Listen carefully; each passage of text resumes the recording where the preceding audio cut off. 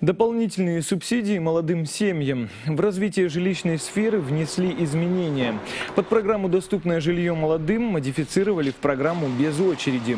Теперь пары, которые заключат договоры на приобретение квадратных метров до 1 июля, получат господдержку. 1 миллион рублей могут получить в округе 19 тысяч семей. 10,5 тысяч уже заключили сделки и ждут субсидию. Приоритетное ну, направление определить, куда все-таки мы направляем свои бюджетные средства в ближайшие там, несколько лет. Это тем гражданам, которые уже заключат соглашение, да, мы предоставили еще время, кто-то может принять это решение сегодня до 1 июля. А Кто-то, ну, это решение должно быть э, очень завершенное.